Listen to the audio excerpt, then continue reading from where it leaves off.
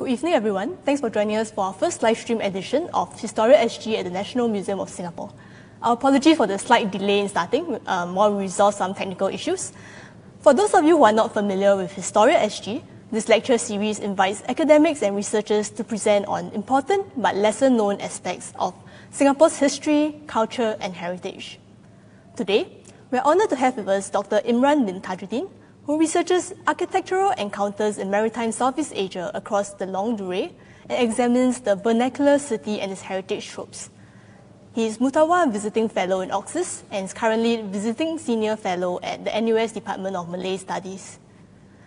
Today, Dr. Tajudeen will be discussing the complex legacies of Kampong Melaka and Kampong Bengkulu, two forgotten neighborhoods of early communities in colonial Singapore.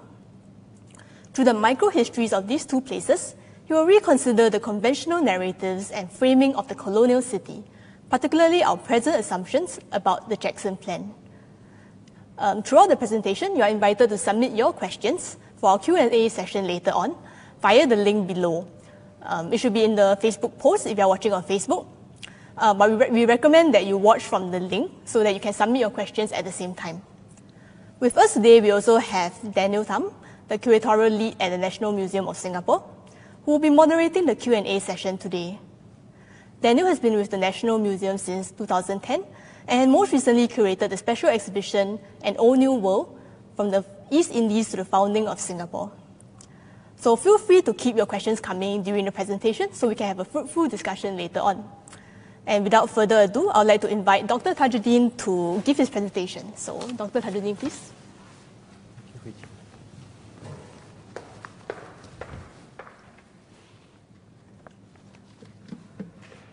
Okay, um, good evening. Uh, thank you, Hui Chi, uh, for that very kind introduction. Uh, let me begin immediately on my uh, lecture for tonight, and uh, I thank all of you also for joining me and uh, Daniel for hosting the Q&A later. Um, so today I want to talk about this topic that I have called the complex legacies of Kampung Melaka and Kampung Bengkulu. These are two urban neighborhoods in Singapore the names, I think, uh, are not familiar to most of us. I mean, we have to mention where is Kampung Bengkulu. It's like, what is Kampung Bengkulu? Where is that? Uh, and Kampung Melaka, maybe some people might know because of the association with the name uh, of a mosque. It's a place qualifier for the name of a historical mosque. In fact, regarded as the first known registered mosque of colonial Singapore. So, uh, so much for the names themselves. But what about their locations? So if I told you Bengkulu is simply the uh, name in Malay, of course, of uh, Bencoolen. Bencoolen is the anglicized version of Bengkulu. Then you might, oh, yeah, I know Bencoolen Street. So indeed, uh, Kampung Bengkulu is in the vicinity of uh, Bencoolen Street. Uh, and that's, that's uh, in, in, on the map that I am showing you, you, you see uh, areas shaded red with question marks marking them. So these are areas that are excluded from the um, areas, uh, uh, uh, the conservation districts that are given um, ethnic labels or racial labels. Uh, you have Little India, you have Kampung Glam, uh, you have Chinatown, and then you have other areas that don't have a racial label, but uh, they are celebrated for, um, let's put it this way, non-ethnic or non-cultural not something not related to people's origins, you know. So Singapore River is not celebrated for any particular group, for example. So actually, ironically, I would I would be in favor of the latter way of looking at place histories, which is not to racialize a place, but to look at it in its diverse uh, manifestations across different communities who live in the same area. And so when we are looking at Kampung Melaka and Kampung Bengkulu tonight, uh, we're going to try and look at that uh, and look at just how many different groups interacted um, in, in the, uh, kind of a very fine grained manner uh, down to the level of the street and even to the level of individual units changing hands, and also how people lived next door to each other uh, in the city. So uh, we are now going to uh, look at uh, how the, the rest of the talk is divided into uh, five sections. Um, so we're going to look at first the early communities for which these neighborhoods were named. Why is it called Kampung Melaka? You know, why is it called Kampung Bengkulu? And uh, what are the foundational features, the, the, the, the, landmark, the urban landmark that marks uh, this, these early communities? Uh, and where they are located, you know, in the larger scheme of things, both before and after the colonial town plan uh, of 1822, early 23, 1823, which is popularly known as Jackson Plan or the plan of Singapore town by Lieutenant uh, Jackson, Philip Jackson. So um, that's number one. And then uh, part two, we're going to look at uh, very quickly, just, uh, just to give us a sense of the chronology of the key uh, socioeconomic transform- transformations by just looking at uh, landmarks connected with uh, religious institutions in particular. And then after that, we're going to look at, in section three, some uh, it's, it's, section three, I, I, I, would like to qualify, uh, is very much a, an empirically uh, um, in a way, it's quite confusing. It's an empirically driven section where we look at specific building drawings and try and tease out some narratives out of it. Uh, the narratives are not yet fixed, and we're still, there's a team of us looking at it, uh, and it's really very complex, and sometimes you can't force a narrative out of something. So I just want to share this in section three. And in section four, we look at some forgotten institutions and what I would like to call curious incidents that uh, really tell us, you know, the very um, much overlooked uh, complex histories that we find in these two areas. And finally, just a kind of uh, a wrap up, if you like, uh, addressing what I would like to call the missing pages of our urban history.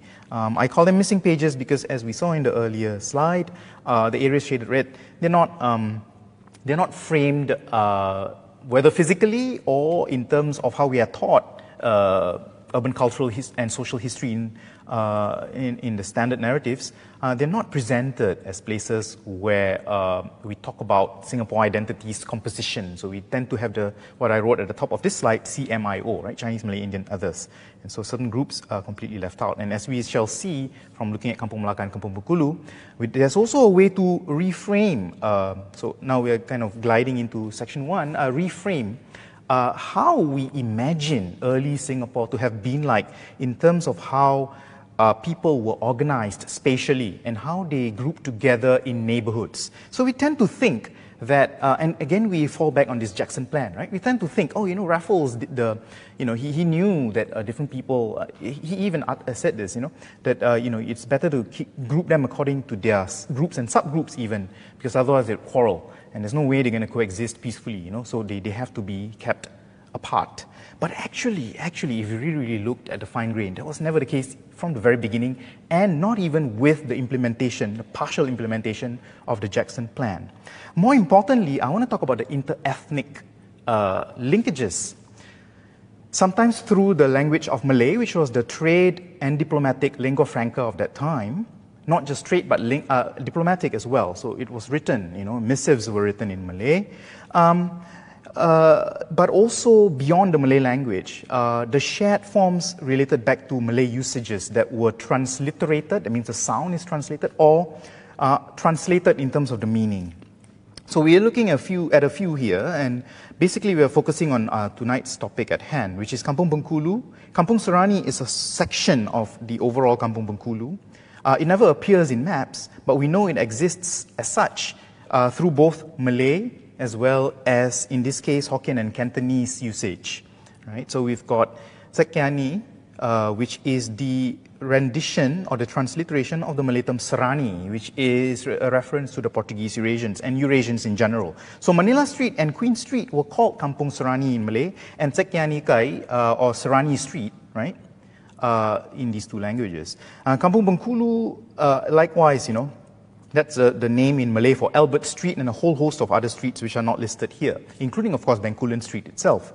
And uh, guess what? If you listen to uh, Hokkien and uh, Teochew and uh, Cantonese, it's a transliteration. In this case, it's Kampong Mangkulu. And Mangkulu, of course, is a transliteration of the Bencoolen name, right? And even Kampong, which is the uh, Hokkien pronunciation for Kampong. Uh, it is Cantonese that is able to say Kampong with a P. So in Hokkien, it became Kampong. Uh, but, but everybody understood that refers to kampong. Uh, and so on. And so, so for kampong Melaka, you have a more extensive list here, all referencing kampong Melaka, including Hong Lim Ki. You would have expected, as I mentioned in earlier lectures a few years back, uh, that the name Hong Lim to the Ki would have meant that the Chinese would have referred to it as a Hong Lim Ki as well. But no, they actually called it kampong Melaka's uh, High Ki, you know, rather than uh, Hong Lim something. But uh, so you've got that kind of uh, shared names, we also have names noted in the colonial survey maps and by surveyors for colonial mapping. So we've got two examples. There are so many examples uh, that we can look at, you know. Uh, here I show you 1842. The labels are there. Kampung, I know it's a bit unclear, but if you were able to look at the original 1842 map, the one on the left, you would be able to see Kampong Bengkulu written there with a C. Kampong Bengkulu. You would be able to see Kampong Glam. So Kampong Glam, as both uh, maps, both maps attest, used to be the area, it's a geographic area. It's not a racialized area. You don't say Kampong Glam is the Muslim Malay area. No. It was a geographic neighborhood of Singapore all the way from Bras Basah, right after Raffles Institution, which is today Raffles City, all the way up to the mouth of Rochor River, which is Crawford Street. So in fact, the entire area was called Kampong Glam Plain. It's not in reference to any uh, ethnic group, religious group, or whatever. Uh, likewise, Kampong Bencoolen. Likewise, Kampong Saigon. Well, Kamp- see, and then so here I have to qualify. A name like Kampong Saigon, a name like Kampong Dobi, a name like Kampong uh, Java. So these are not so much racialized or race references. They are references to places of origin. So people from Saigon could have been Chinese, for example, right? Uh, rather than um, Vietnamese, for example. Yeah? Uh, uh, Dobi is a particular occupation. You'd be surprised there are two Kampong Dobis in Singapore. Uh, one of them, uh, the Dobi uh, shop, is actually operated by a Chinese person, and it's in our Kampong Bengkulu. Yeah, so these are examples where names are noted in colonial surveys. And finally, I want to point out how this completely differs from how we usually use the reference point of race to understand the city. Why do I say that? We keep referring to how, uh, you know, there's the Bugis Kampong, Arab Kampong, European town, Chulia, Kampong and Chinese Kampong. But guess what? The names in blue that I've written there, those are the actual names used in Malay, in Hokkien, in Cantonese, and in Tamil. I didn't show you how it was transliterated into Tamil, but Tamil also, for example, Kampong Dobi, guess what? It was called Dobi Kampam. Kampam is the Tamil rendition of Kampung. Dobi Kampam, for Dobi God. Just, just imagine that. So these were names that were shared, and they didn't always refer to ethnicity. They referred to occupation, place of origin, and so on. They transcended ethnicity, uh, and they uh, sometimes uh, more specific than just race. Yeah? And um, uh, lastly, just uh, by way of introduction, this term kampung is also used interchangeably with the word town. So if the Jackson Plan calls uh, the area of um, beyond Jalan Sultan, Bugis Kampong, this 1825 survey calls it Bugis Town, not Bugis Kampong. But you also have Kampong Glam and then Kampong China as opposed to uh, Chinese, Chinese town in the 1822 map that you see on the left here. So these terms using the 1820, the map published in 1825 that I'm sharing here were used interchangeably. You also have the term village, so it coexists, right? You guys Bugis village, Bugis town, you have Kampong Glam, Kampong China, and then on another map you have Chinese town and so on. So it was an interchangeable, interchangeably used term, and the term Kampong referred as much to an urban neighborhood as it, as it did also refer to uh, rural uh, settlements. So, having cleared all of that, we are now ready to look at Kampong Malacca. If we look at the 1843 survey map by J.T. Thomson, you notice it's sprawled across in block letters, italicized, this name Kampong Malacca, right? Now, where is that, you wonder? Actually, it's in the vicinity of what is today, um, well, it's, it's the MRT called Clarke Quay, right? Or you will hear it in Mandarin, Kelama. Well, actually, people didn't call it Kelama in the, in the past, they call it Kampong Malacca right? Kampung Malacca. So maybe we should change the way we call that area. No, no, it's not. What was it? Kelama, you know, it's not that. It's not that at all. It's so artificial. Why are we inventing these artificial names? It was Kampung Malacca even to the Hokkien and Cantonese speakers. Now, what's so special about Kampung Malacca, you might ask? In this map, in the survey map, the earliest, the earliest known mosque of Singapore Masjid Omar Kampung Malacca or Omar Mosque of Kampung Malacca is already indicated. I know it's a little bit faint, unfortunately. If you are able to obtain the original map and look at it closely, you'll be able to find, can you see the orange square there? Between the letters N and G, that's the location, it's, cor- it's correct, uh, that's the location of Kampung Malacca uh, Mosque, which is Omar Mosque, right? And the street leading up to it was later called Mosque Street. Um, and the street leading perpendicular to it is later on called Omar Road. Now, what happened at that time is if you look back at the uh, Jackson plan, right, the idea at that time was to allocate that area, which is later Kampong Malacca, as Chulia Kampong. So, what happened instead was uh, it didn't become a racialized Chulia settlement, it became instead a place associated with all the Malaccans. Many of the Chulias did indeed migrate via Malacca. Now, who, and in fact, many of them didn't identify themselves as Chulia. They identified themselves as what is called Jawi Pekan or Jawi Peranakan. Uh, the most famous example of a Jawi Pekan or Jawi Peranakan is Munshi Abdullah. He was of Tamil and Arab descent. He spoke Malay, he taught Malay, as well, as well as being able to teach Hindi and Arabic.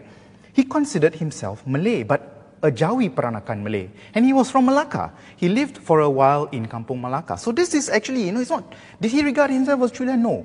And guess who endowed the mosque at Kampung Malacca? It was an Arab, not from Arabia, but who came via Palembang, a port town in southeast Sumatra, a more important port town in the past than Singapore was, which was, of course, totally eclipsed by the rise of Singapore. So, you know, somebody like Syed Omar Al Junied, he's an Al Junied, um, lived in a milieu where uh, he, he also would have deemed himself, of course, firstly Arab, uh, but also in a way Malayized Arab, in other words, a Jawi Peranakan or Jawi Pekan situation. So that's, that's um, from the morphology to the socio-morphology, if you like, of this area, right? The fact that it was already uh, surveyed and marked. But uh, as, you, as you can see, the streets were not yet made. So at that time, the settlement grew by itself without the uh, municipal council having intervened in uh, laying out the roads. Right? So it was a settlement before it was regularized. So the next time we see it, as in this map, uh, which is the 1878 map, uh, you find that the area of Kampung Malacca has been regularized, and the, that's Mosque Street right there, a very short stretch of perpendicular street to the rest. And the mosque is not indicated, but we know it's there, of course, the earlier mosque uh, the earlier map showed it. Now you will notice if your eyes are very sharp, there's a mosque indicated slightly further up. Well, now where is that? I'll come back to that later. That's one of the little things that we'll be talking about that has not ever been discussed in Singapore urban history before that I will present tonight. But you also notice a whole plethora of other names. Kampung Saigon, here's Kampung Bengkulu. So I'm showing this partly to introduce you to where Kampung Bengkulu is on the map. I'm not lying. It's called Kampung Bengkulu, uh, Bencoolen in this case, spelled Bencoolen uh, alongside other places like Kampung Kapor and so on. The area I highlighted in yellow at the top, that's the Bengkulenese Malay burial ground, which we will see again later. So the Bencoolen Malays, now how come we have Bencoolen Malays? We can understand why we had the Malacca Malays. Malacca Malays are associated, of course, the migration of people from uh, Malacca is associated with Farquhar's uh, attempt to populate Singapore, right? It, had, it needed more people, needed people to uh, grow food, to send food, to, you know, so on. Malacca Malays were the ones who provided fish. They built the stakes. They knew how to build uh, kelong, what we understand as kelong. They, they built it in, in, in early Singapore. Um, and they were also the ones to uh, sell chicken, uh, uh, fowl, and so on. And then the Bencoolen Malays, on the other hand, along with uh, those uh, sepoys from India, uh, were part of the contingent that Raffles brought over, you know, for the security of the new colony. So Kampung Bengkulu had that kind of association, and the Bencoolen Malays had a burial ground in what is today Istana grounds. I highlight at the top there. Now, for lack of time, I won't be able to go on to all the other interesting snippets we can, uh, you know, kind of uh, take out of this map. This, you see all the place names are highlighted in yellow. Instead, we're going to jump right into Bencoolen Street's landmark. Uh, so the, the, the, the, land, the landmark that reminds us obliquely, I would say, of the Bencoolen Malay community is Bencoolen Street, uh, Masjid Kampung Bengkulu. If you look at all the Berita Harian uh, or the Malay Daily in Singapore uh, articles, they refer to it as Masjid Kampung Bengkulu. Later on, the name Bengkulu totally dropped out in the 1970s. And today, it's seen as a Tamil mosque. And it's a Tamil Hanafi mosque. So at, at some point in its history, the ownership or the trusteeship, uh, custodianship over the mosque shifted from, I'm getting a bit technical here, the Shafi'i uh, school of thought, right, uh, which is adhered to by Malays and Hadrami Arabs and some Tamils, to the Hanafi school of thought in, uh, in Sunni Islam. So uh, this happened around about the 1900s or maybe after the 1880s, after the death of all the initial trustees who were related to Omar Al Junied and other Al Junied members of uh, the Arab, uh, Hadrami Arab uh, family in Singapore.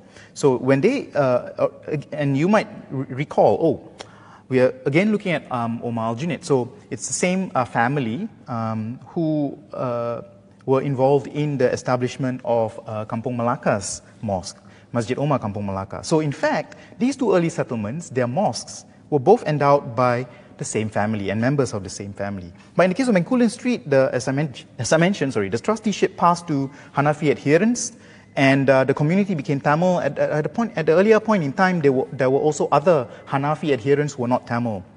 So it, it signals to us, uh, I can't elaborate on it, but it signals to us uh, the shift in the geo, geo um, uh, in the demographic uh, composition of Kampung Bengkulu across time by the 19th to by the turn of the 19th to 20th century. Uh, well, um, I'm just showing you this map uh, to to kind of uh, close this section uh, before we move on to the next section on the chronology. But here is a closer look at the label South Kampung Malacca. So Kampung Malacca had a North Kampung Malacca as well in this 1893 map. That's what I'm using here uh, the label South Kampung Malacca and North Kampung Malacca was used. So Kampung Malacca encompassed quite a big area. Both Clarke Quay to the north and, uh, well, the Clarke Quay MRT station area to the south. Uh, was called Kampung Malacca and differentiated as north and south. The mosque was here. If you remember that old map that we saw, this one, right? So this street is Omar Road and this is Mosque Street. So right here, that's what became Omar Road, leading up here, and then Mosque Street, and the mosque is there. Right? So just a quick introduction. Uh, now, so that's the foundational features and uh, the early communities associated with Kampung Malacca and Kampung Bengkulu. They've, they've more or less been left out of the, the, the narrative because even the, na- the names of the neighborhoods uh, are not usually um, even mentioned. Uh, the next section looks at the chronology. Now, what happened? Of course, today you don't associate those two areas with just the Malacca uh, multi ethnic community or the Bengkulanese. So it's much more diverse than that. And uh, I would like to put a chronological ordering to this, this kind of diversification, right? So uh, I won't be able to, of course, go through each and every one of these entries. It's very complicated. Kampung Bengkulu is a large area. But if you look at the, uh, the, the, the, chronology here, in fact, the, the Masjid Kampung Bengkulu which was funded by Syed Omar bin Ali Al Junied, as I mentioned earlier, who lived at High Street, by the way. He didn't live at uh, Arab Kampong or Arab Street. He lived at High Street, next to the Teochew merchant Eu Chin, who used to have a, a Chinese courtyard, traditional Chinese courtyard house. Uh, both their houses, Syed Omar and uh, Eu Chin's houses, are now beneath the Singapore Parliament House, actually. So it's beneath that. If you want to know where it used to be, say how glorious it would be if the two houses were still there, but they're not. Uh, anyway, uh, so the two earlier buildings than Masjid Kampung Bengkulu were in fact the Malay Chapel, the Malay Chapel or Gereja. Gereja is the Malay term for church, taken from the Portuguese igreja. Uh, igreja. So uh, Gereja here refers to church, of, the, of Reverend Keasberry from the London Missionary Society, uh, 1843. So it's actually older than the mosque of Kampung Bengkulu.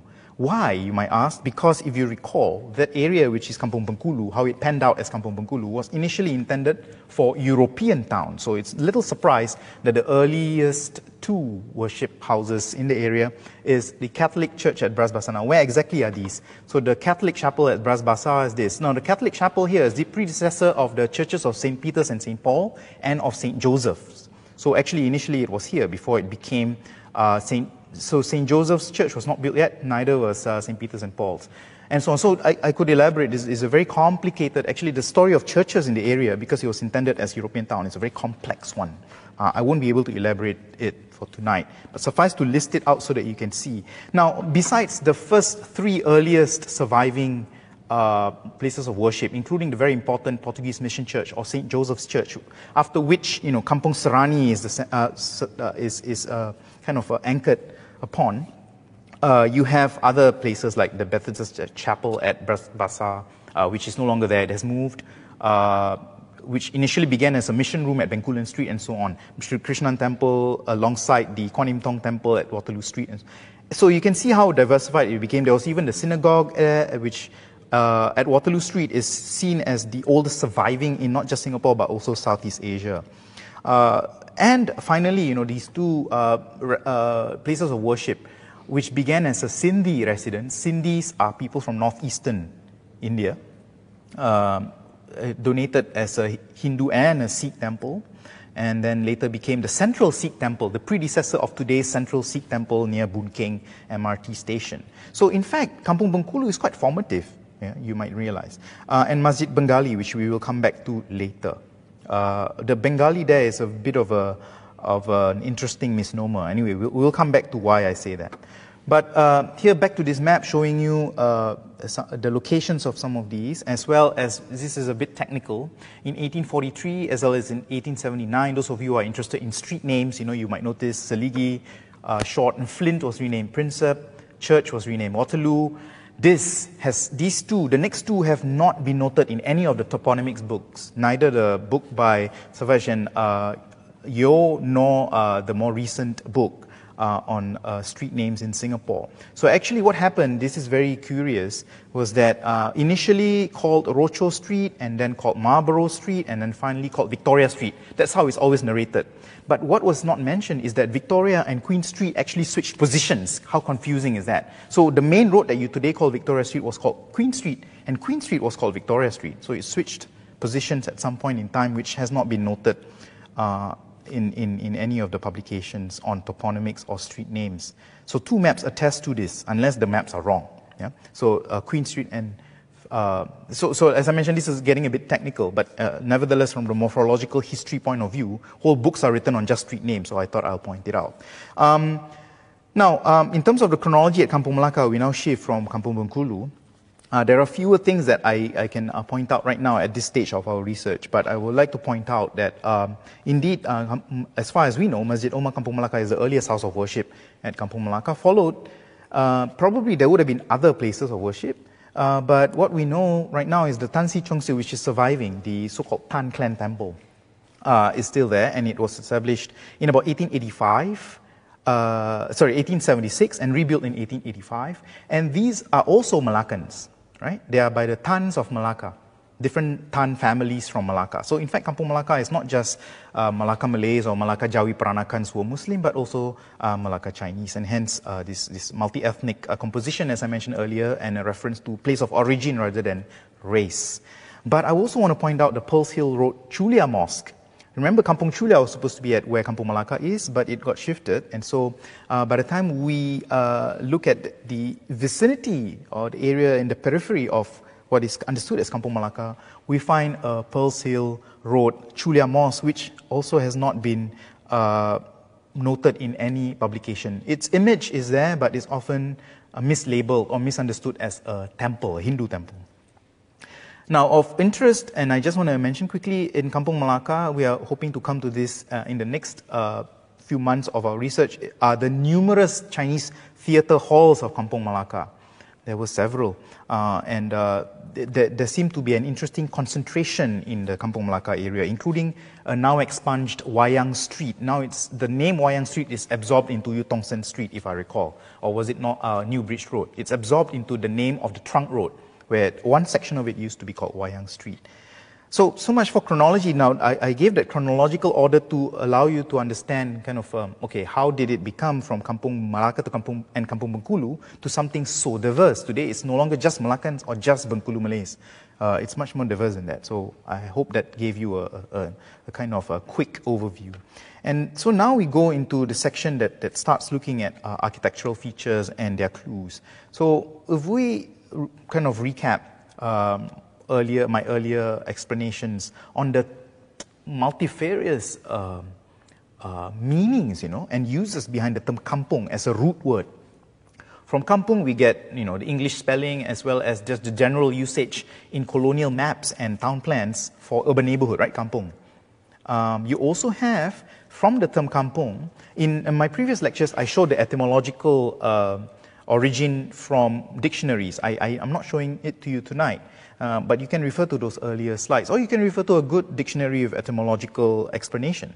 So the term compound, the second meaning of the term compound in English refers to a morphological entity, uh, as opposed to the first meaning, which is a chemical compound. It's entirely different. So the second meaning of the English term compound comes from the Malay word kampung, via usage in Portuguese and Dutch uh, colonial urbanism.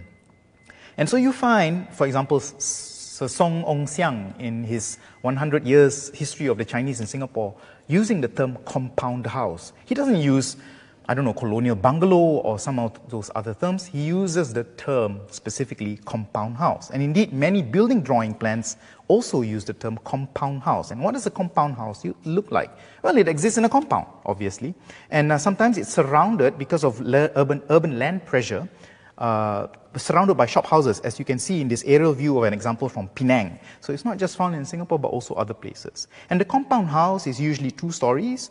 Uh, the upper story is considered the main living area, and the lower ground is considered the ancillary uh, area, because that's in the Malay form of the raised floor house. uh, not really living space. It's like extra undercroft space. So there's an, there's an interesting evolution that you can trace in many building plans of uh, raised floor uh, Malay houses uh, as the prototype for these uh, two-story uh, compound houses with an infill of the ground floor to create habitable space. Sometimes the house makes very specific architectural reference to this kind of an idea of an, a kolong or undercroft. Look at this compound house of Encik Kasim from 1891 at 129 Queen Street, which is within um, Kampung Serani slash Kampung Bengkulu. The architect is Lau Chi huh? so the architect can be Chinese. But what you see here is that the house is treated such that the ground floor has these arches, you know, which recall a kind of uh, raised floor uh, building, whereas the upper floor uh, is treated differently. Um, and uh, the plan, if you look at, uh, I, I, gave a reference here, Jacques Dumarçay, writing in 1987, talks about what he calls the Malay plan, where there is a suite, a suite of rooms, um, pairs of rooms arranged along a central corridor, the lorong, from a front and rear uh, hall or veranda, which you see here, right? a front and a rear, and then a, a suite of rooms, uh, pairs uh, flanking a central corridor. So that's the most basic form of what he calls the Malay plan. This is, of course, I'm, I'm citing Jacques Dumarçay. Um, what does the compound house look like in coexistence with uh, shop houses? So you can still find a few examples along, uh, in this case, this is, these are all Waterloo Street, right? Some of you might be familiar with these buildings. Center 42 is right there in blue there. Uh, that's the uh, synagogue uh, of Waterloo Street, which again uh, is following the compound house typology uh, with this uh, projecting front. It's often called Palladian, uh, but it's a rather curious thing to say because Palladian houses don't exactly have this projecting vestibule like that. And there is no proper name for it in English. In Malay, there are names for it, Surong and Anjung. So there seem to there seems to have been a kind of adaptation and a transformation of what was obviously, evidently, initially a, a very um, Anglo type to something that was, in, in a sense, adapted to uh, Malay usages and understandings of space, including the internal subdivisions. Coming back to the idea of compounds, if you uh, look at the area of uh, Kampung Bengkulu, and, uh, or, or, what was intended as European town, you would realize that the, the large compounds uh, at the center of each of these compounds was supposed to have been one particular house. So actually, if I were to go all the way back to an earlier plan such as this, yes, if we were to go to go back to sorry this one, you might be able to see, yeah, uh, these subdivisions into compounds and then a little black square inside. So that's the subdivision into compounds. Now, if we were to enlarge that, that would look like this. It's somewhat like what you see in the aerial view from Penang that I mentioned earlier, but you've got uh, this example here uh, that I shaded in orange at the corner of Prinsep Street and Middle Road.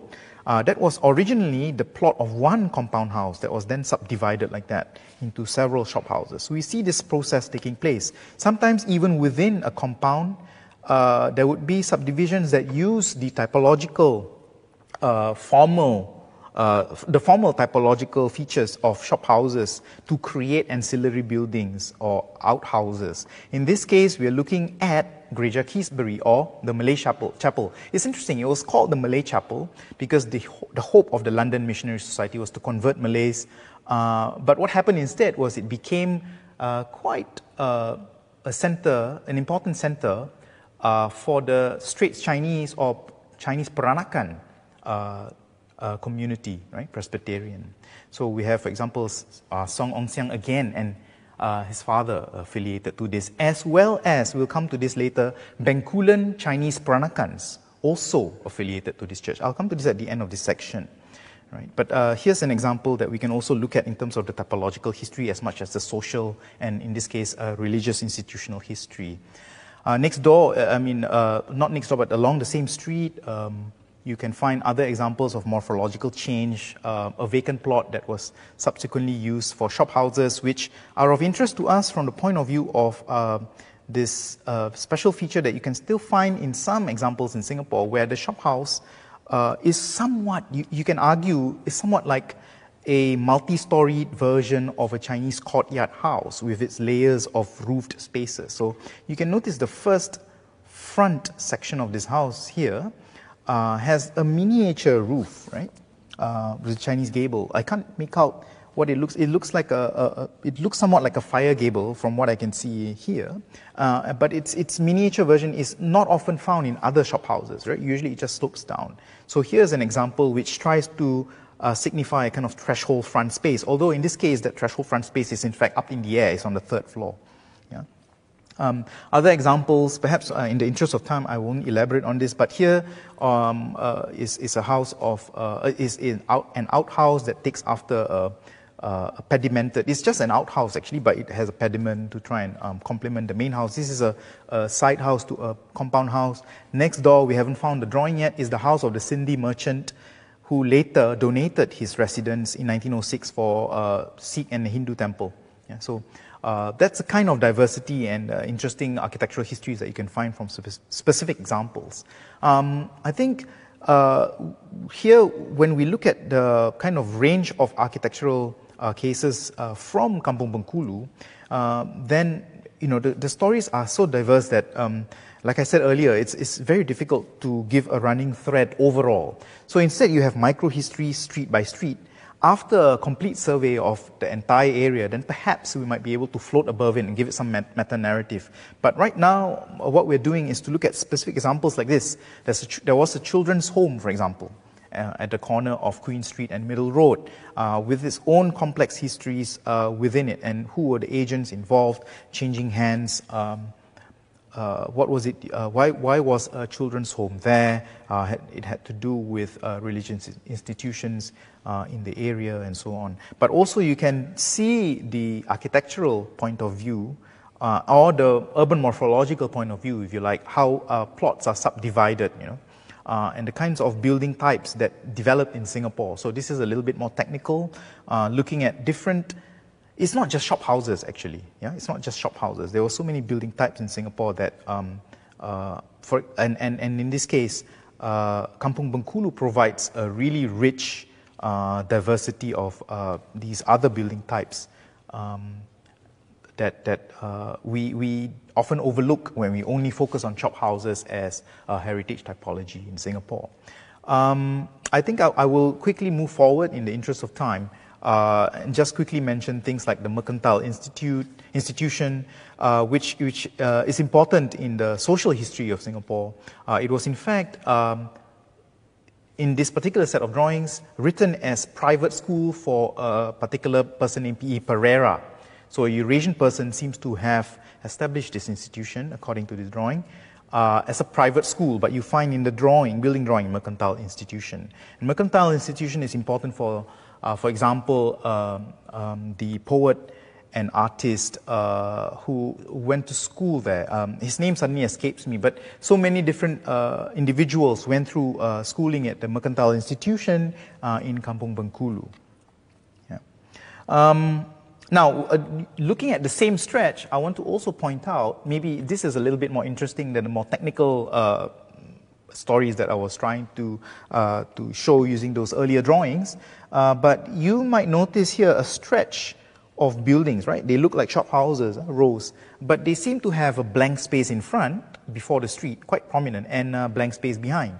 These are what we can call compound shop houses. They're rather interesting in the sense that they are quite generous in terms of the setback from the street, and uh, they have a front gate as well as a yard before you get to a flight of steps. So here you can see that happening. So that's the street, Queen Street right here. It's a little, little bit small, but that's Queen Street, gate, front yard, flight of steps up.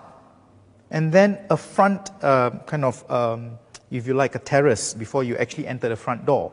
So such houses, that's, that's a row, you know, such, such houses uh, in, in the case of Kampung Serani were, of course, not surprisingly, mostly the uh, uh, residences of uh, Eurasians. So actually they're very important. Again, this is too long to go through, but I wanted to just show you the, the rich kind of uh, information you get also from oral history, uh, from, for example, the book on Singapore Eurasians, uh, uh, the oral history interviews, who, from whom, yeah? from, from, from these oral interviews, you get the sense of the life that goes on within this um, transformed compound, uh, compound house uh, neighborhood in Singapore. Uh, what I mean is that originally, Kampung Bengkulu was supposed to have been dominated by compound houses. Now, because of land pressure, there was a subdivision. But the compound row house is a kind of compromise, you know. You make it almost like shop houses, so it's compact, but then you retain the sense of a compound. And indeed, when you listen to the oral history uh, interviews, uh, you get the sense of you know, having a common compound or not having a common compound, how children from different families interacted and played, how people could, you know, kind of freely uh, interact, um, a social life that goes on because of uh, having a compound. Sometimes you even have the, the, entire compound having a gap at the sides, really reinforcing as though this, this row of six houses was a gigantic six dwelling uh, compound house set in a compound. So there's this rather interesting in between. Um, unfortunately, these examples have not survived, they've all disappeared. Uh, but uh, I just wanted to point out this rather interesting in between type. Um, maybe to, to wrap up this section um, uh, on the building types, uh, I just want to point out you know, that, that, that uh, Kampung Bengkulu also uh, has an interesting history of businesses. Maybe you could just point out uh, Frank, many people would know Frankel because of uh, the Frankel family, because of uh, Frankel Estate, for example. Uh, they, they operated a very large uh, furniture shop at 375 Victoria Street, which was a really huge compound house. But the compound house itself was originally built by Lee Cheng Tee, who was born in Malacca and traded with Brunei and Labuan. So you've got all these really diverse uh, histories. Now, further up, Victoria Street was another compound house of Haji Ibrahim bin Nur Muhammad, who also sold furniture. So again, this multi-ethnicity. You can't pin down Kampung Bengkulu's uh, race, if you like. It's, it's just so diverse. Um, you, I could go on to talk to you about architects, R.V. Boswell and Hazamagumi. Very interesting, Hazamagumi actually had um, an advertisement in the Shonan Shimbun in, at, towards the end of the Japanese occupation asking for 10 architectural students. You know, lodging provided, you can work for me. I'm just wondering about this story now. What does this mean? Uh, there were architects working for Jap- uh, there were architectural students and architects, right, working and operating during the Japanese occupation. So we, by and large, don't talk about the Japanese occupation period as a period of construction. So maybe there's something here besides the Japanese temple at MacRitchie Reservoir and so on. So, you know, what is this? Uh, maybe there was a, a, plan for, for construction which, which never came to fruition because of the end of the Jap- Japanese occupation. We do not know. But I mentioned earlier Bencoolen Peranakan Chinese by name Na Piet. So he was born in 1836 in Bengkulu, uh, and he was a, a, a voluntary uh, preacher at the Prinsep Street Church, right, which I told you earlier was uh, considered a Peranakan Chinese church. It never became really a Malay chapel. It became a Malay-speaking Peranakan Chinese chapel. And uh, Na Tian Piet was among those who were active there. He is well known in songs, one, he is noted uh, in a footnote, actually, uh, in the recent reissue of Song Ong Siang's 100 Years History of the Chinese as a writer in Malay. So he actually composed a sha'ir or a, a rhyme uh, poem uh, in 1896 for Sultan Abu Bakar of Johor. So he saw himself, you know, really in this very bicultural sense, very literally. He took his name Tian Piet and called himself Kalam Langit, the translation of Tian Piet, as his Malay pen name for his works. So, I mean, that I'm just giving you this anecdote as a kind of a, to kind of think about the, our, our lost sense of what Singapore people were like. Yeah, this shared sense of identity that transcended race, that translated across languages, that shared forms, and so on uh, you know, it, it, rather than look at it in terms of just racial categories. Speaking of um, divisions, uh, okay, maybe a little bit corny, but here's a, a, a quick look at subdivided tenements along alleys. Uh, so I'm switching from social history to something that goes back to uh, morphological history with a bit of social history. From the morphological point of view, Bengkulen, uh, Kampung Bengkulen right, or Kampung Bengkulu, is interesting because of the number of these small alleys uh, with all these names that I've listed uh, that once exist, uh, that once could be found there. They were the result of the subdivision of these large compounds, right, with an alley, a blind, uh, uh, uh, dead-end alley, subdivided on both sides into very small tenements. Um, just three examples to give you a, a, kind of visual of what it, it is like, a visual sense of it. So here's one at Lorong Sepang.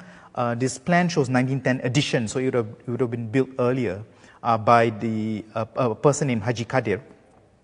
So you can see at the end of it, uh, subdivisions followed by common kitchen. So actually these are very small units um, that then had, so they are actually well ventilated in the sense that they have windows both front and back. So they have through ventilation, uh, but they shared a common kitchen because they're so tiny. So uh, it's the kind of domicile uh, that you today can only find in one surviving example, and that's Prinsep Court. So if you go along Selegie Road, you might notice to your left-hand side all the watering holes, right? Uh, and the uh, firms that occupy very small shop houses leading off from a narrow alley, and that's Prinsep Court. It was Chia Jim Chuan Place, one of several such examples. Here's a second one, uh, Lorong Sakai, 1902 edition, uh, additions in this plan. Uh, the developer was Haji Muhammad bin Abdul Rahim. So I'm pointing these examples out because you have Malays or uh, at least Indian Muslims or Jawi Peranakans as well involved in these kinds of transactions. Some were Malay and some were Jawi Peranakan of Indian descent. Right? And then you have um, Nordin Lane, which I'm not going to elaborate on right now, but uh, Nordin Lane, the, the full story is Nordin uh, is a Jawi Peranakan uh, in, uh, from Penang. Right? So his, um, they, they were in Singapore and invested in this entire area uh, and other areas around Singapore. Uh, the entire name of the lane was Nordin Lane. Uh, but it's not a dead end a lorong, it's an, a, a, through, a thoroughfare as it was called in those days. Um, lorong Kranji is not a thoroughfare, it's a dead end street. But if you look at the transactions, you've got a Eurasian, uh, uh, Hadrami Arab Al Habshi, and then Tan Kim Cheng buying and selling these units. Yeah? Uh, the fourth section of this talk looks at some forgotten institutions and what I call curious incidents, as I mentioned earlier.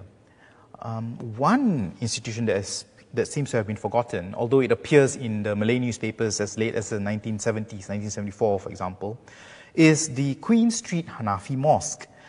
Um, as far as I can ascertain, it was not uh, relocated. So that means there's no other Hanafi mosque that replaced it when it was demolished uh, sometime in the late 70s. Uh, so it was at 151 Queen Street, right next to the junction with Albert Street. Um, and according to Ahmad Ibrahim in his uh, work of 1965, this was established in 1908. Uh, the name gets confused with Bengkulen because it was known as Masjid Bengali Queen Street. So sometimes even the Malay papers in some of these years that I've noted confuse the name Masjid Bengali Queen Street and then Masjid Bengali Kampung Penghulu in 1971, for example. But actually they were distinct uh, it's, it's, really, you know, uh, quite uh, strange in that sense that this, these two got confused. And for the longest time, because of this confusion, uh, this Queen Street Hanafi Mosque was completely forgotten. Uh, it, it's strange to me how much of this amnesia happens in Singapore when as late as the mid 1970s, you know, it appeared in the papers, but somehow people have forgotten it. So it's rather, rather strange. Um, now, Queen Street's community uh, is Hanafi, as I mentioned. Uh, and um, there's, there's something to be said here about the history of the Hanafi community. They took, they took up the custodianship of the Bengkulu Mosque, as I mentioned, and they also founded this Queen Street Hanafi Mosque. So Hanafis are a minority uh, in Singapore, right? Uh, and so there's something here about their history within Kampung Bengkulen uh, that, that you know, kind of invites uh, further work.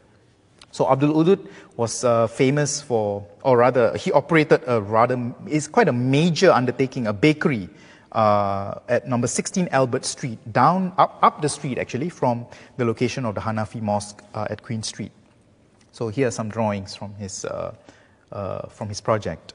Now, I mentioned earlier Pearls Hill Chulia Mosque. So this is another forgotten building. So that's the, that's the image I was talking about from the 1890s.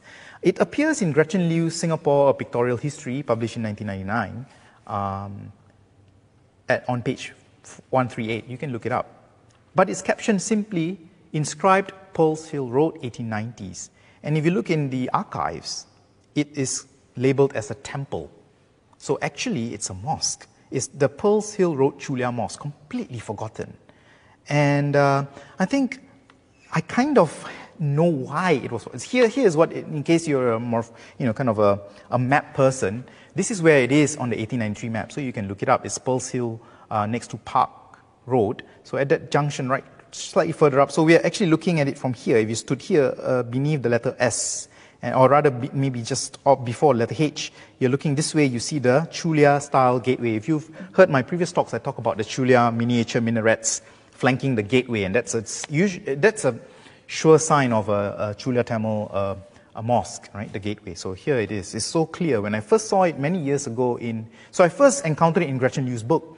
I immediately recognized it as mosque, you know, and then I wondered how come, you know, none of the publications uh, talk about this more. So it's completely forgotten. And I, I think there might, I, this might have been the reason for its uh, forgetting. It seems to have been uh, bisected by the railway line that went from Tank Road station all the way down to Tanjong Pagar.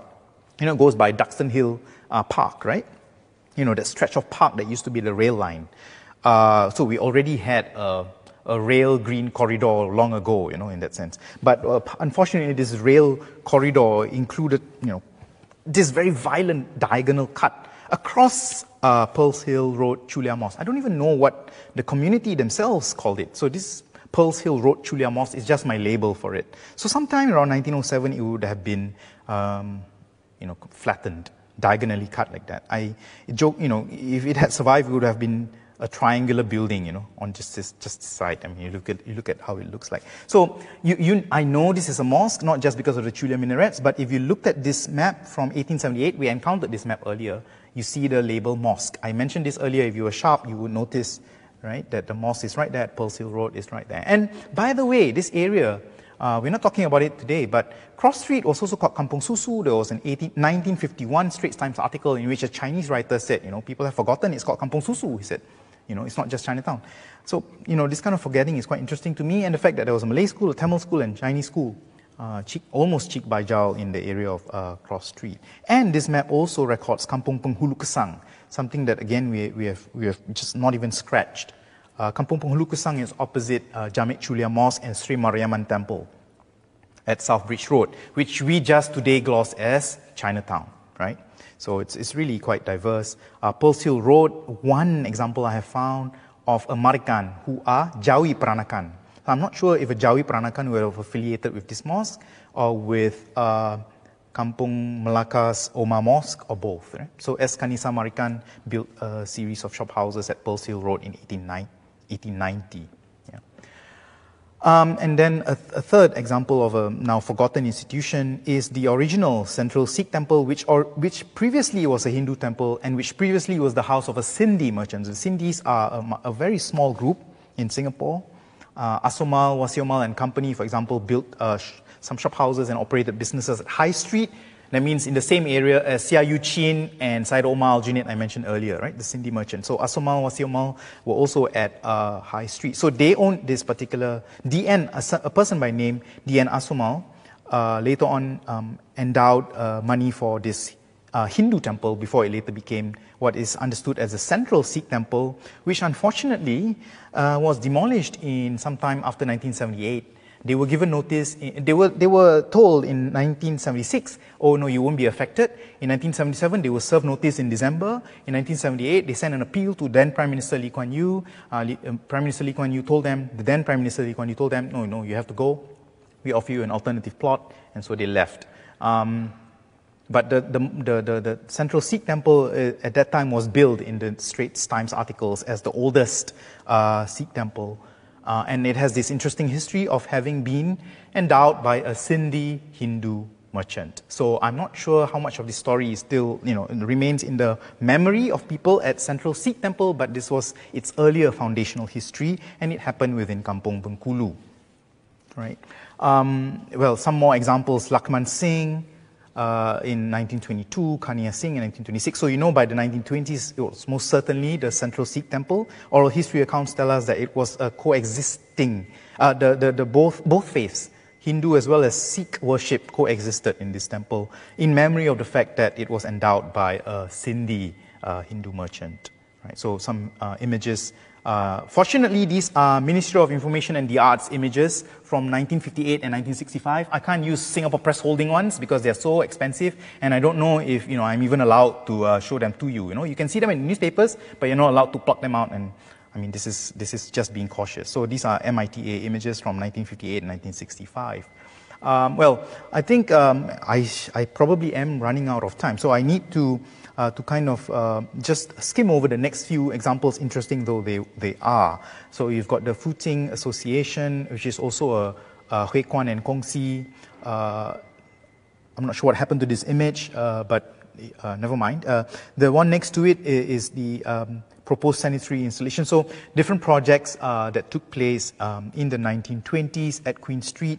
Um, so by the 1920s, if you understand um, the demographic changes in Singapore, um, there was another uh, rise, uh, a dramatic increase in um, the Chinese population of Singapore in a second spurt of growth. So the first was 1890s to, uh, 1880s to 1890s. Second spurt was in the 1920s to 1930s. So uh, such developments as this reflects that um, demogra- those demographic trends.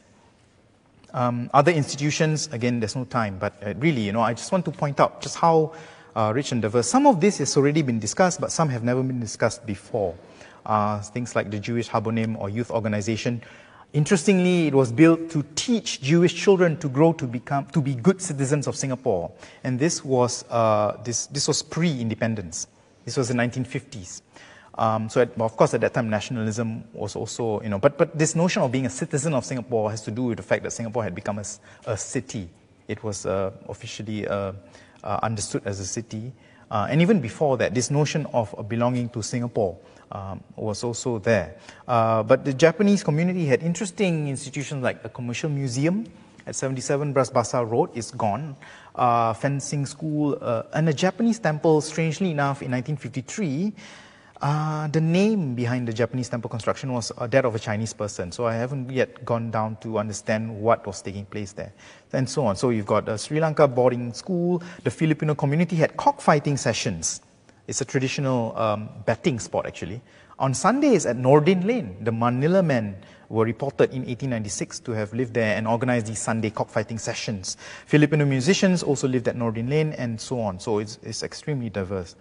Uh, finally, you know, to wrap up, um, I think, as I mentioned at the beginning, you know, um, there's, there's, there's uh, something to be said about how we, um, we omit certain uh, perspectives of uh, Singapore's social and urban uh, history, uh, partly as a corollary of the way we frame its histories according to certain official designations of conservation and ethnic heritage districts. I mean, this is something I've been talking about for years, uh, for a number of years now.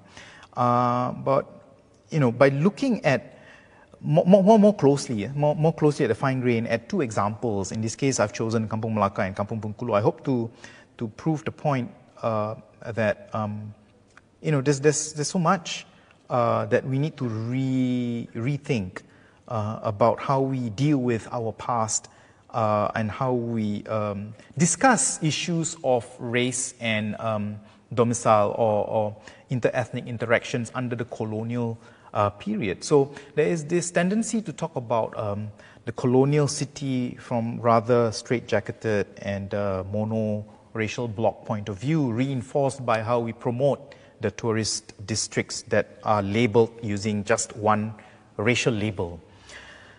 How would we do it if we now, you can, as I said, you know, um, previous, uh, in previous lectures, Chinatown, Little India are ethnic labels. Kampung Glam, interestingly, is not. So if you remember the two columns, Kampung Glam comes from the label on the right. It's a non-ethnic name. It's a geographic name. Likewise, Kampung Bengkulen, uh, Kampung Bengkulu, and Kampung Melaka. Uh, how would we rethink and rewrite our understanding of Singapore's urban and social and communal histories if we were to start from these vantage points. You know, how, how, how do we rethink the way we present ourselves in that sense to both school children who go on tours of Little India, of Chinatown, they go to Chinatown Heritage Center, they go to Malay Heritage Center, and then they are told these stories from racialized points of view. How would we retell them? And how can, now the next question is, is it even possible to retell them in a place like Kampung Melaka? So I'm showing you this and this image. The yellow arrow points to the location of Omar Mosque. Now, just look at it in the initial setting with all the shop houses uh, around it and the Chinese theatre halls and so on. And today, it's completely surrounded like that. If you go to it today, it's stranded. It looks stranded and out of place. Uh, is it possible to even talk about uh, the rich histories of Singapore uh, in areas as uh, completely expunged and made over as Kampung Melaka? uh, you know, there's Tan Si Chong Su, which I could have also um, labeled, and uh, Masjid Omar as the only two surviving buildings. So is, is it possible? And how do we do that? Uh, is it through virtual technology, something we are developing for this project? That means you go around using an app. Does that suffice? Who do these kinds of uh, tours? What would you, you know, is, does it enrich you to be able to wear something and uh, look at the area not, not as it exists today, but as it used to exist? Uh, is that the way to recuperate these histories um, in a place like uh, Singapore, in which we frame it in certain ways, and places that offer alternative framings are no longer physically there? Uh, or in places where, um, like, like Kampong Bengkulen, you know, many institutions do still remain. Um, quite a few have uh, vanished, but many still do. But the, the residences are gone. Uh, and so of course, it might be too nostalgic to think about how, oh, maybe we could have retained all the residences. Uh, then, if you if you see it from that pragmatic point of view, um, you know, what what kind of uh, perspective do we gain from uh, understanding Singapore's uh, past by looking at these demolished buildings um, individually? You know, unlike the the way we cast entire neighborhoods according to one particular um, assigned identity.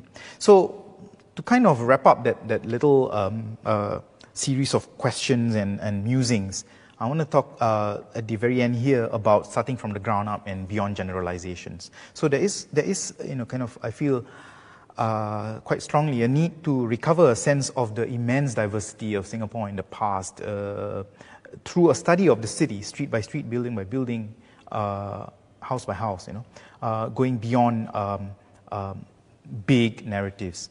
Uh, and uh, we swim in the sea of, um, of, of, multifaceted histories and micro histories and very diverse uh, changes and transactions um, and neighbor, uh, you know, diversity of neighbors uh, in both urban architectural and social history.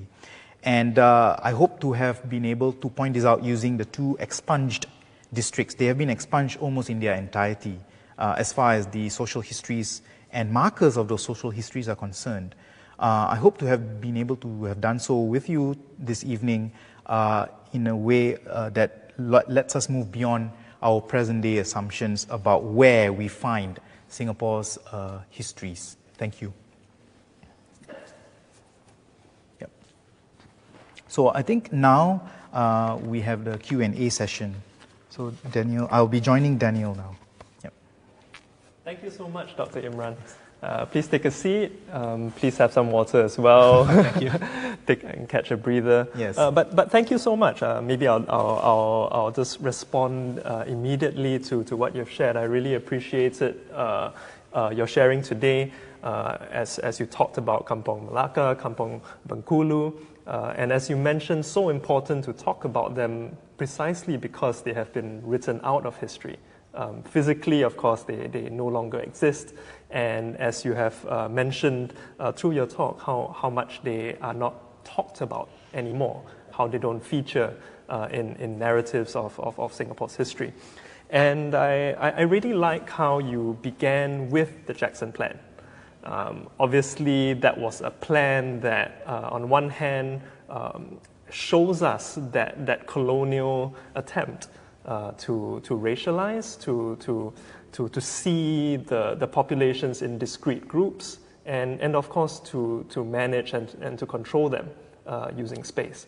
Um, and uh, I, I, guess with that plan, you, you get a sense as well of how uh, Singapore has been managed through the years. It, there's, there's always this uh, attempt to, to plan and to uh, to have very, very discrete uh, identities associated with, with each place.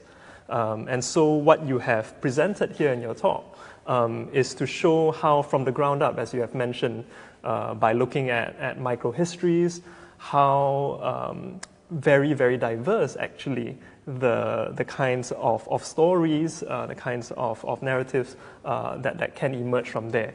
Um, I'm just looking at one of the comments uh, from, the, from the live uh, Facebook uh, stream. Uh, Lam Sok Ching just mentions, wow, rich, diverse communities. Um, so I think it, it, it, gets really exciting when you start looking individually, whether you're looking at houses uh, that you can find, um, looking at individual accounts. um, there is such a rich diversity. And, and, and I think we can come back to, to that uh, question as, as, we, as we go through this discussion. Um, but I, I, thought to, to, to draw on one of your comments earlier, you, you mentioned how um, as you look at the transition uh, of, uh, of these places, mm-hmm. of, of Kampung Malaka, mm-hmm. Kampung Bengkulu, you see an increasing diversity uh, springing up. And, and, and this is something that's, that's really organic, isn't it?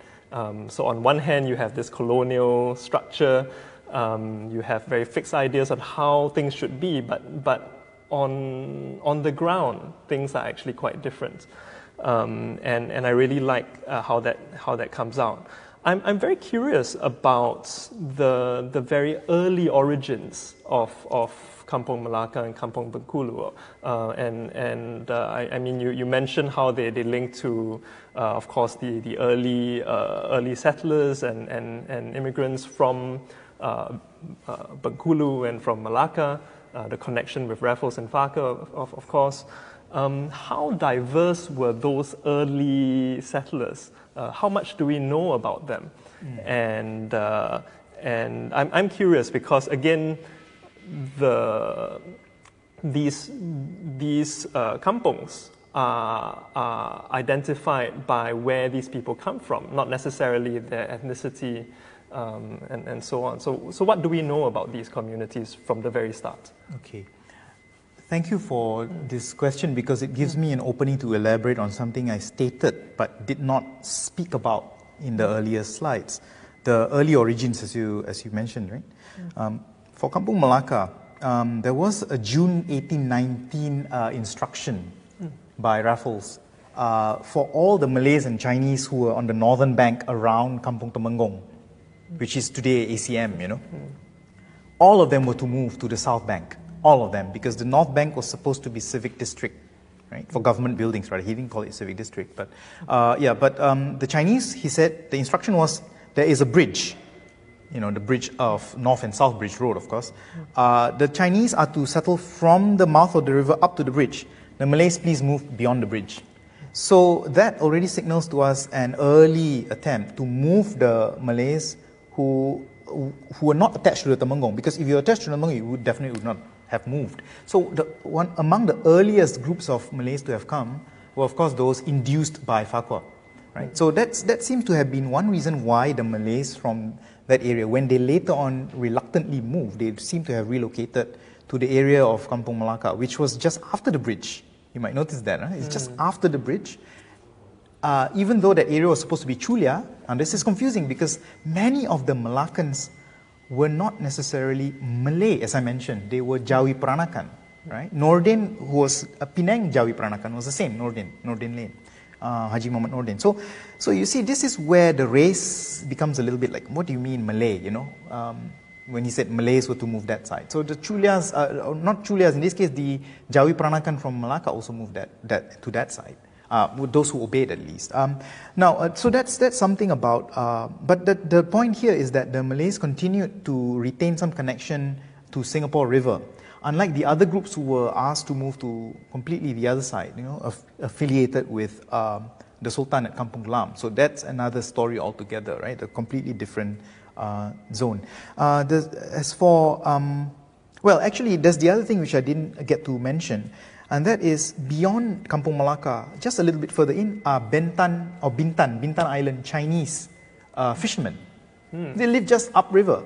Uh, there used to be a kramat there actually, uh, Kramat Bukit Bintan, sometimes confused as Bukit Bintang. Same thing. Bintan Island is sometimes spelled Bintang, and then Bulan and Bulang. So is it Bulang and Bulan or Bintan and Bintang? So Bulan and Bintang is moon and star. So that's often opposed to each other, you know, as, as a complementary pair or opposing pair in Malay. So Bulan and Bintang. So what I'm saying is that there is this Bukit Bintang, which was uh, which was the settlement of Chinese uh, Bintan Chinese uh, fishermen, just upriver, and and so many other settlements, Kampung Pukat, Kampung Martin, and so on, just up the river uh, from Kampung Malaka, associated with a diverse group uh, who were uh, traders, hmm. as well as fishermen and other other uh, occupations. Um, Kampung Bengkulu is associated with the cantonment, it seems. Mm-hmm. So the Bengkulan Malay and Sepoy groups were brought over by Raffles because Raffles was, of course, resident there. And Singapore was kind of like, like not really, he, he, was not in, he was not placed in charge of it uh, formally.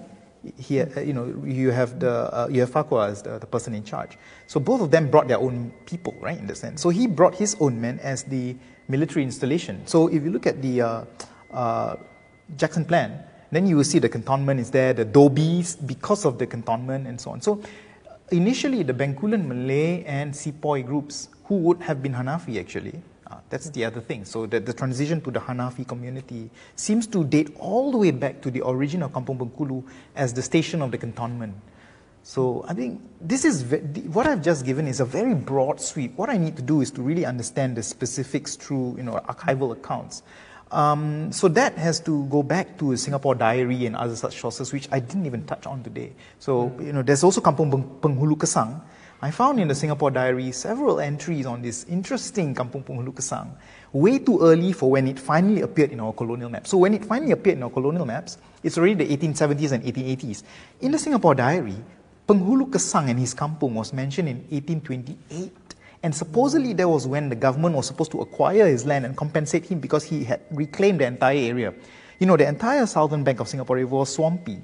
So Penghulu Kesang, who comes from Muar, uh, and there's a very complicated connection to how uh, there was a power contest between the Sultan of Singapore, who you know did not own Johor because the Temenggung took Johor and left just Muar and Kesang to him. You know, there's this complicated history, backstory to it. But Penghulu Kesang uh, was then supposed to have been compensated in 1828, but there you have his name in the colonial maps of 1870 and 1880. So what does it tell us? You know, was he was the land acquired from him by the colonial government, or was it not?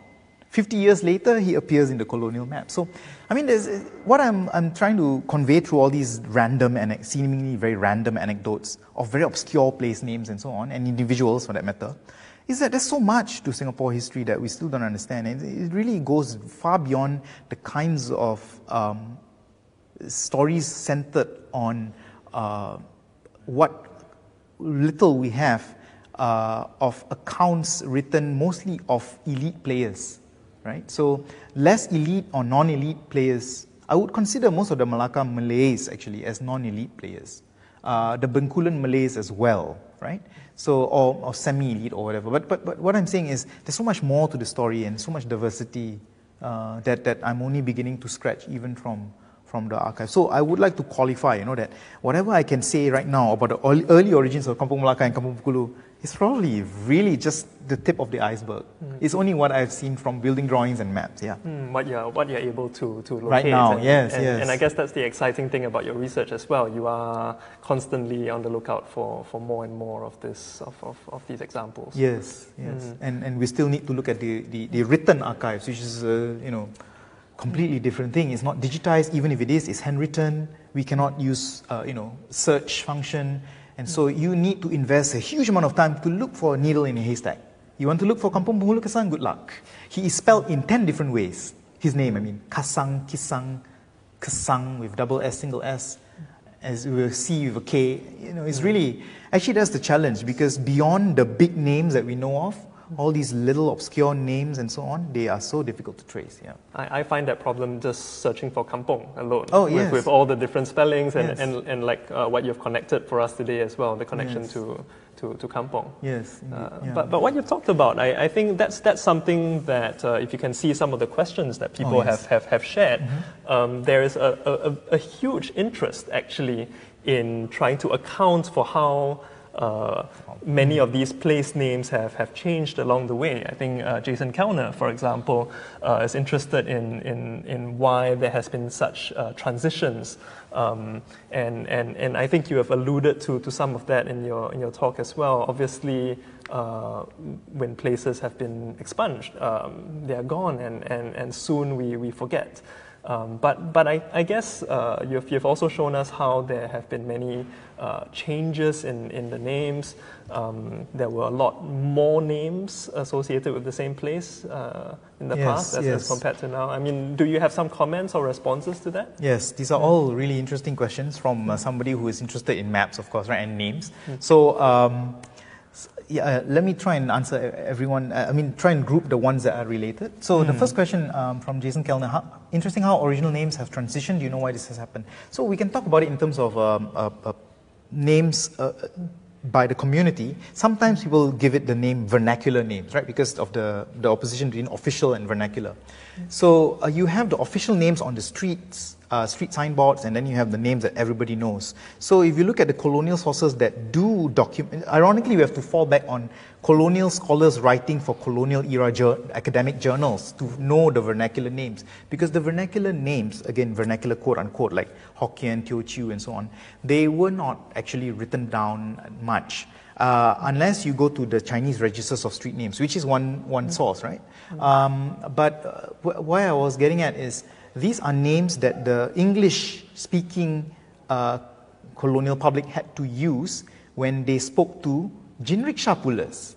That was the publication's raison d'etre. So its reason for being was, look, if you come to Singapore, you're not going to get to Flint, uh, you're not going to get to Albert Street if you say Albert Street to the jinrickshaw puller. You've got to tell him Kampong, Kampong Bengkulu. Then you are Kampong Bengkulu where? Then you will find, because a series of streets were all called Kampong Bengkulu. Um, now, what does this tell us? It tells us that as long as there was a balance of, shall I use the word power? Balance of agency between who could dictate how a place is named, uh, the vernacular name would survive. Once the reason for that usage dwindles or disappears, you would only have the official name. Uh, I want to draw attention to this angle that I keep using, the anecdote of uh, Kampung Jawa. Kampung Jawa is confusing. There are so many Kampung Jawas because there are so many Javanese uh, within the so-called Malay population in Singapore. So one of the Kampung Jawas is in fact Arab Street. And I didn't show it, but uh, in Hokkien and Cantonese, it's also called Jawa Kai, mm. Javanese Street. Um, and uh, Malays call it Kampung Jawa, not Arab Street. And uh, when I gave a talk on this for Kampung Glam area a few years ago. The, uh, during Q&A, a person stood up and said, thank you for clarifying. I've been correcting my mum for years. When she told me she's going to Kampung Jawa, I told her, what Kampung Jawa? This is Arab Street. Kampung Jawa is KK Hospital, Kampung Java mm. Road, right? Java. Mm. Because you, there's another Kampung Jawa, there's so many other Kampung Javas. So, I mean, this is an example where her usage remains at the you know, community level. Mm. Who knows if uh, Hokkien speakers still, still call it Jawa Koi who knows? You know, we don't know. But the thing is, it's not going to be there, and there is uh, in the street name, and um, we are all, you and I, learning about Singapore through. This is why I keep emphasizing it through school. Whatever we know about Singapore is in, imbibed through school. We don't learn it from our parents. We don't go and ask our parents, "What do you call this?" No. Everything we learn about every part of Singapore, its historical identity, how people interacted with each other, are all in books and now in our heritage museums, our centers. Mm. That's why it's even more important for us to recover these kinds of diverse histories because otherwise we are replacing a set of understandings that were rich and super you know, complex for something extremely simplified because I don't know, we choose to compartmentalize it in neat ways when it's completely not neat. It's messy and therefore rich. So I, I think that's, that's a way for me to answer this. Uh, why have they changed? Well, because we, we, we only find out from official narratives now. We don't, we don't speak. I mean, once, this is actually a condition of modern education, right? Mm. So let's say I, I want to give an, uh, kind of like, it sounds like a deviation, but people, I mean, my, my, my two uh, sisters, uh, and others who have given birth. Would you ask your parents how to take care of the kid or, do, uh, or your child, or do you check the internet? You know, so now there's yet another level of learning. So perhaps that's why I, I spoke about um, maybe digitizing. Uh, you know, there's another way to, to kind of um, enrich where we get our sources of information from. Mm. Because now it has kind of jumped away from even schooling into um, the internet. Mm. But that's precisely why oral histories, oral traditions, and, and uh, these are pre- precisely the things that we should be collecting mm. uh, and archiving. Mm-hmm. Um, precisely because they don't, uh, if, if not, they don't end up in these, these official records. Yes, yeah. of course. So oral histories, the only sad thing is that um, oral histories today uh, have, will no longer have access. So you've got to look at all the oral histories. I'm not discounting today's oral histories at all, but what I'm saying is today's oral histories, we are limited in our temporal horizon, right? Most people we can interview today, even if they're very elderly, will only know up to a certain period in history. And that's why we get this glorious 1950s nostalgia. because everybody who is elderly enough to, you know, say I, you can have my oral history because I'm old enough, would remember mostly the 1950s as children. So then it becomes like the thing, the go-to thing to think about the past. Not the 1920s, not the 1910s, and definitely not the 1880s. Mm. So, I mean, there's also a limit to. So, thank goodness there was the oral history project of the 18, 1980s, 1984, and so on. Mm. Because at that time, there were some interviewees who were over 100 years old or over 80 years old, right? Mm. So, they remembered uh, instances that you know, are not in the official uh, colonial archives from the 1880s and the 1890s. I found that to be particularly rich for Kampung Glam. But before I go on too much uh, on, that, on that track, I want to go to this next few questions that talk about Omar Mosque, uh, Mosque Street, Omar Road, why did it disappear, uh, you know, and so on. So actually, you can find out quite easily, uh, and I want to encourage all of you to do this. Uh, it's quite easy. Just go to newspaper.sg, type in Omar Road, see what you find. Uh, there are newspaper articles, unless they, you see some of the articles, because they're deemed to be of sensitive nature, they are not, there's no preview online. You have to go down to the National Library, sit down at the portal and read it.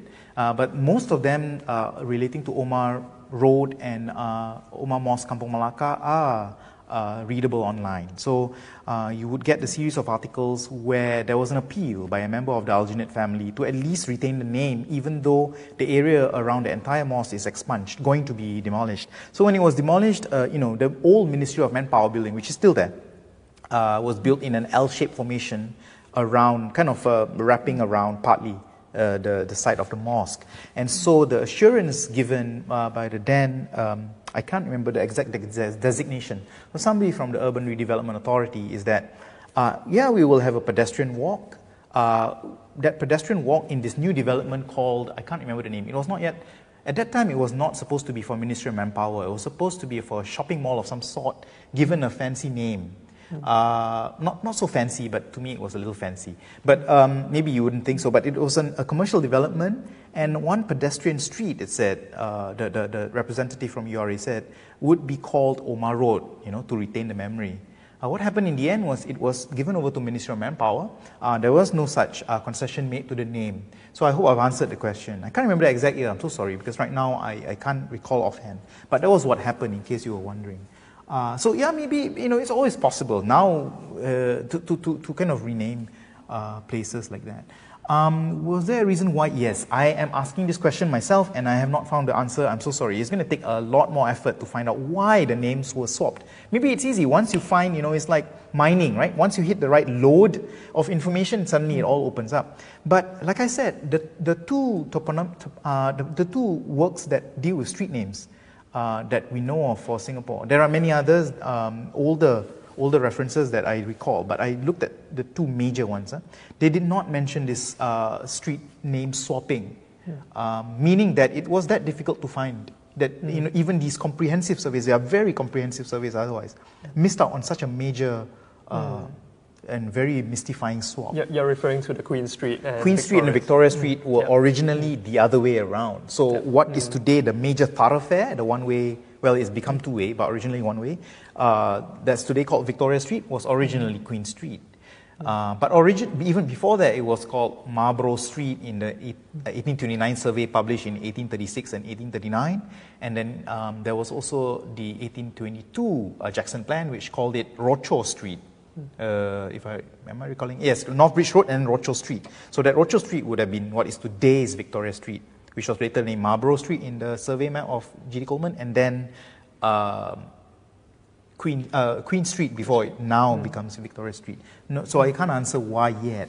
If I've understood you correctly, says Jason Kellner. Oh, again, uh, are you saying the row compound houses on Queen Street were basically similar to normal British houses at that time with a front garden, porch, etc.? Mm, quite different because of the, the facade ornamentation which actually follows uh, the, the formal uh, composition uh, of the Singapore uh, shop house of a particular uh, time period. I mean, it is given all sorts of names, but if you looked at the drawings, you will know what I mean. So they follow what is uh, in one, at one glance, you will be immediately able to identify it as a single product uh, because of the nature of the building industry, you know, the, the, the workmen uh, common had a common kind of uh, unspoken uh, ornamentation repertoire that they stuck to more or less, varied in certain ways, but it's more or less the same all the time. Uh, so that's, that's kind of uh, identifiable in that sense. Uh, morphologically, beyond just styling, right? Uh, that's like a facade thing. Morphologically as well, it's a little bit different, I would say, than the, the, the, because internally the divisions were more like the shop house rather than the, um, the the ones you find, the terrace houses you find in the UK. So in, the internal partitions also uh, matter, and then the the um, the way in which uh, the the building is segmented uh, for air wells and so on is also different from the. So, so there is a case to be made about the fact that the, the shop house is a formative typology which spawned many other variations, and you could say that the compound row house. That's how I've chosen to call this otherwise unlabeled or uncategorized type of uh, category of building. Um, seems to be a, a, kind of shop house modified for a compound, retaining the sense of a compound in front, behind, or collectively, you know, rather than just a shop house has no compound at all, as you know. It's immediately uh, the interior from the five foot way. So this one has a kind of a threshold, series of uh, lengthened thresholds. Um, there's one more question here about. You can probably answer one last question okay, from great. here. Um, I, I, think there was some interest in, in Kampong Susu. Uh, yes, Kampong Susu, yes. Yeah. The, answer, the, quick answer, yes. Yeah. Uh, some newspaper reports tell us this as well, uh, mm. that there were, in fact, yeah. Uh, there was, there was a, uh, definitely, uh, I mean, it's in reference to the fact that um, there was a dairy industry. So, but the dairy industry is also found elsewhere. I think there was a concentration there, and it became famous for that. So it's called Kampong Susu. It is indeed in reference to uh, uh, South Asian groups who, who, who were mm. trading in, uh, in, in, dairy products. Mm, and, and I mean, I, I guess that really does uh, bring us to the point that you made earlier as well about how ethnicity is but one way of, of, of identifying um, and, and in turn, one way of, of naming places mm-hmm. as well. You're, you're looking at vocation, you're looking at industry, you're looking at a whole variety of, uh, of, of, of, of, of, diversities, mm-hmm. so to mm-hmm. speak. Yes. And, and yes. when you look at places like, uh, again, places like Kampong uh, Bengkulu and Kampong Melaka, it's, a, it's really an intersection of all these different identities uh, at play. Yes. Hmm. I, I, I, thought to maybe draw our to draw our discussion uh, to, to a close as well. I mean, I, I, I um, apologize if, if we haven't been able to answer everything um, that um, that um, that our audiences have been asking. Fine, yeah. But um, I, I, I like the the question that you ask at the end of your talk. Um, where do we go from here? Essentially, mm. how do we uh, now that we have uh, started digging deeper and, and discovering this um, um, through, through the micro histories, the, the, the, sheer diversity of, of, of each place, if you're looking at, at, at place histories, yep. uh, but that of Singapore at, at, at large. Mm-hmm. Um, how do we put it back together again? Um, you know, um, and obviously, I mean, one obviously we we've we've moved beyond just talking about one single narrative of, of Singapore's history. Mm. There are many narratives and many ways of looking at it.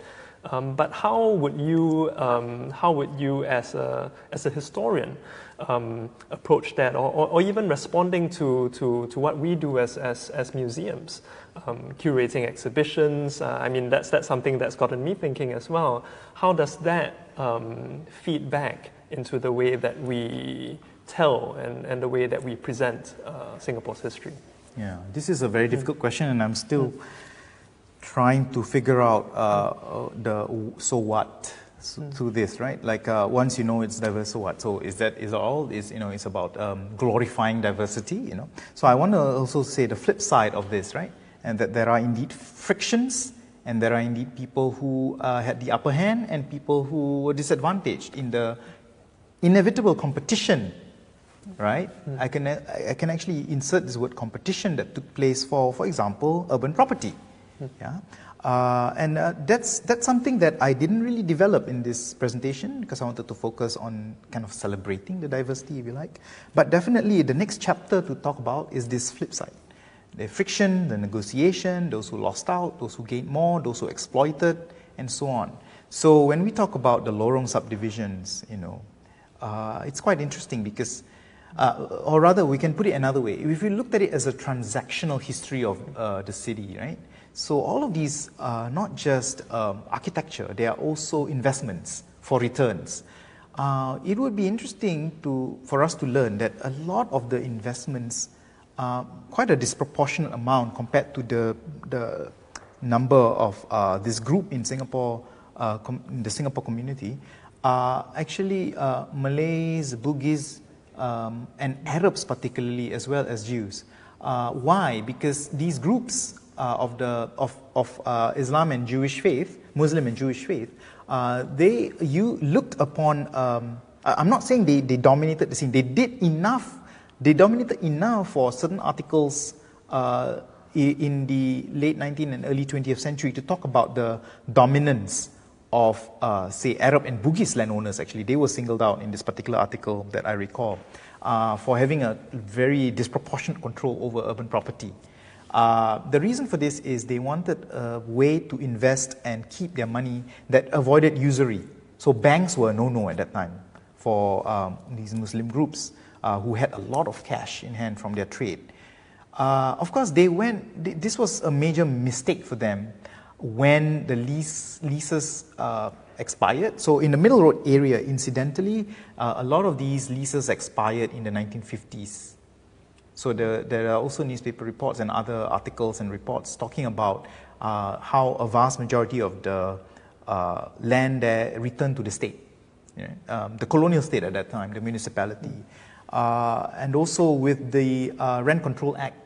So, it, it, so in that sense, there, there are several levels of story that I'm kind of just kind of casually dropping here, which is um, where people stored their wealth, differences in uh, religion and uh, ethnicity, and where they stored their wealth. So uh, investment in um, property, right? Uh, urban property, to be precise, not not not uh, land outside of the core city center, uh, and then how they lost out eventually because of the way structural changes deleted that wealth as well. Yeah um, the Rent Control Act being one major one. So uh, there's that. But also, if you read, uh, for example, Norman Edwards' uh, account of urban history in Singapore, he talks about the push of Malay groups. So there were so many Malay names that, I mean, not as many here, but the, the full list has a lot of Malay names. They were pushed out of the city.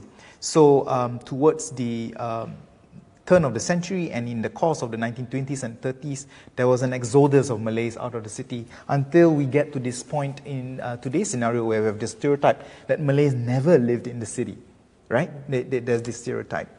Uh, there are all these uh, um, aspects of urban history that we could also talk about, and not just a rosy picture. So maybe that's that's one way. I mean, I'm jumping the gun here. So if we want to complexify it, the complexity also comes from not just a feel-good, you know, happy story, but also uh, the less salubrious and uh, not so celebratory aspects of um, inter-ethnic. Um, I would use the word competition that did indeed take place besides collaboration, which was also plentiful. Yeah. Mm. Mm. So, so really uh, appreciating the complexity of relationships. Really. Yes, so, yes. so and, and, and, and I like that. I mean, uh, and, and that's something that I think all of us can, can, can take back from, from today's session. You know, I, I think you, we, you, you've shown us the, the importance of digging deeper to begin with, uh, to look at um, uh, places, to look at communities, uh, to look at stories that have otherwise been written out, forgotten uh, for, for, for various reasons. And, and because of that, um, we can then appreciate the diversity. Uh, but I think uh, from, from what we have discussed here as well, moving on from simply appreciating that diversity, it's, it's, it's uh, perhaps we are moving into slightly uh, uh, more, more challenging waters where, where, Yes, yes. where, where we, we then confront Hmm. the, the, the complexity of relationships, whether collaboration, whether both. competition, Hmm. um, power dynamics, of course. Mm-hmm, Um, well, many, many more chapters of, of Singapore's history in that sense to, Yes. to be written. Indeed, Um, and, and, and with that, I, I really thank you, Dr. Imran, again, uh, for, for your talk, Yep. for, for the very uh, engaging discussion. Uh, we look forward to, to how your, your research progresses from here as well. Thank you, Daniel. Uh, National Museum, thank you, uh, Daniel. And uh, thank you, everyone, for uh, joining me uh, this evening. Yep. Good night, everyone. Yeah.